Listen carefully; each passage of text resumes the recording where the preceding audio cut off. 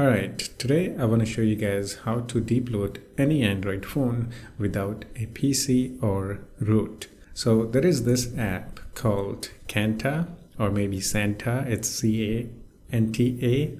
You can call it whatever you want.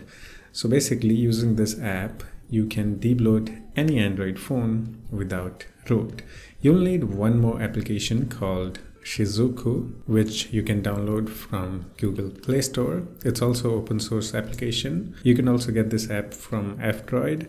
But when I tried installing this from F-Droid, I got an error. It didn't install. But when I downloaded from the GitHub directly, I was able to install this app. No problem. So just download it from GitHub. Go to releases and download it from here. It also supports x86 which is not a common.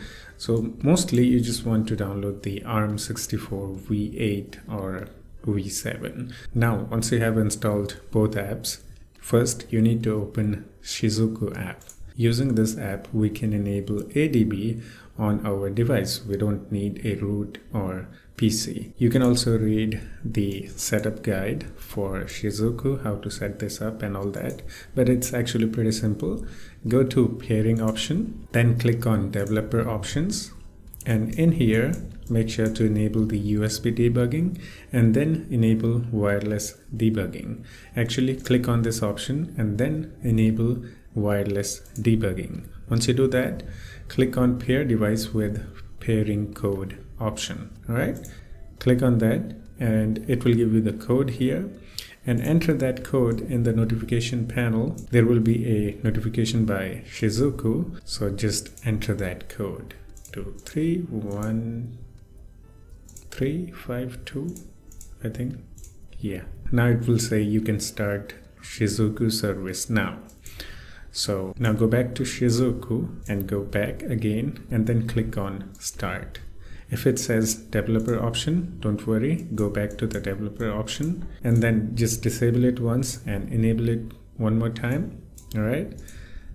And now go back to Shizuku and it will start the service.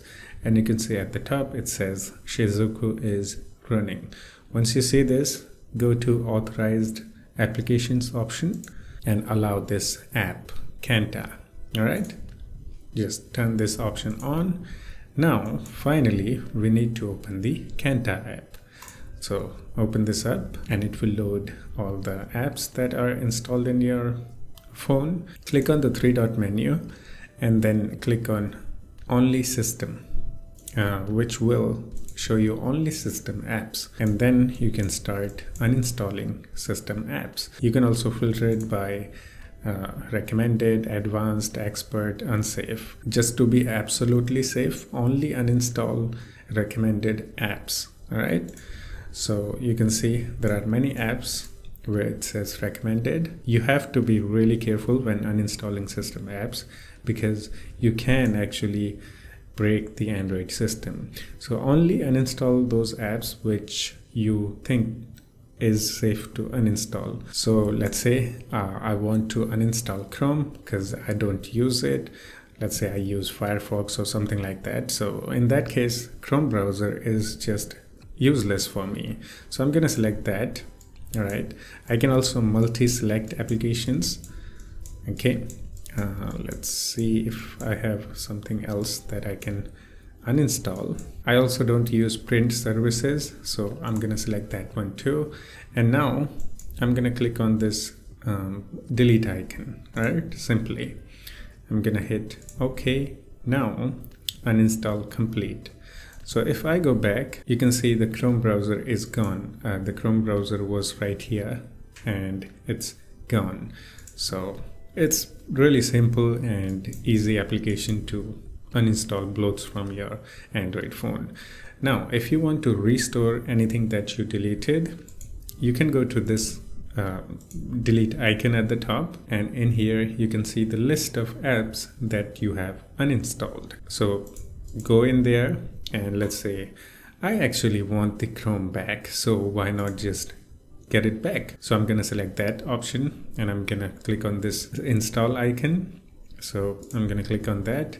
now it is reinstalled it says reinstall complete now if I go back you can see Chrome is here back where it was Another way to restore uninstalled apps is simply by going into the Google Play Store and uh, download the app which you have uninstalled. So yeah, this app is absolutely amazing for debloating any Android phone without root or PC. And try only to uninstall those app which has the recommended label and make sure that before uninstalling any app, you know that this won't break your system. All right.